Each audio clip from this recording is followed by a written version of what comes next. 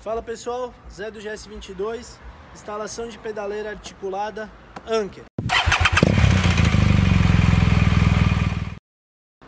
Aí ó, chega aí. Original, para quem não conhece, e essa é a nova da Anker. Só para ter uma comparação. Maior plataforma, maior aderência para quem gosta de andar de off-road ou de bota. Então vamos ver como que fica.